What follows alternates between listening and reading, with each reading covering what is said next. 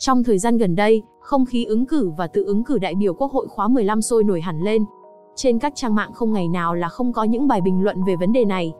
Trang báo điện tử VN Express ngày 18 tháng 3 năm 2021 đưa tin, sáng 18 tháng 3, tại hội nghị hiệp thương lần thứ hai của Đoàn Chủ tịch Ủy ban Trung ương Mặt trận Tổ quốc Việt Nam, ông Hầu A Lệnh, Phó Chủ tịch Tổng thư ký Ủy ban Trung ương Mặt trận Tổ quốc Việt Nam, cho biết tổng số người đã được các cơ quan, tổ chức, đơn vị giới thiệu đại biểu Quốc hội khóa 15 là 1084, đạt tỷ lệ 2,17 người trên một đại biểu được bầu.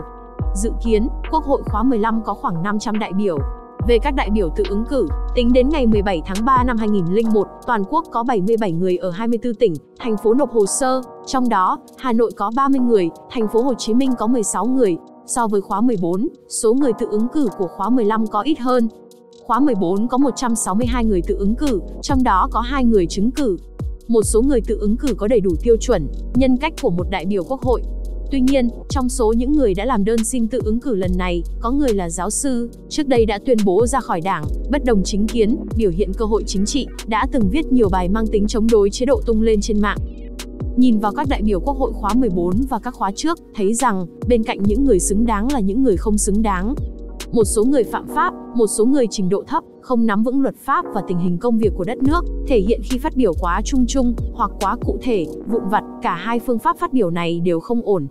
một số người lãnh đạo không hiểu rằng, mình đến đây họp với tư cách là đại biểu quốc hội do dân bầu nên, đồng thời, cũng là người lãnh đạo, nên cũng phải phát biểu tranh luận thẳng thắn với các đại biểu khác, tạo bầu không khí sôi nổi trong quốc hội, đảng này, cứ ngồi im thin thít, lắng nghe, không phát biểu gì, thật không đúng với tư cách đại biểu quốc hội.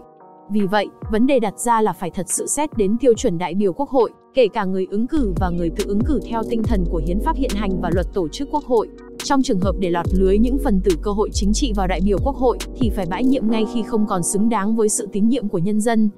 Những phần tử cơ hội chính trị kìm hãm sự phát triển của quá trình cách mạng, để phong trào yêu nước và cách mạng của nhân dân đi theo con đường khác. Quốc hội là cơ quan đại biểu cao nhất của nhân dân, cơ quan quyền lực nhà nước cao nhất của nước Cộng hòa xã hội chủ nghĩa Việt Nam, thực hiện quyền lập hiến, lập pháp, quyết định các vấn đề quan trọng của đất nước và giám sát tối cao đối với hoạt động của nhà nước, nên mọi công việc của Quốc hội phải đặt lợi ích của dân tộc, của nhân dân lên trên hết, trước hết.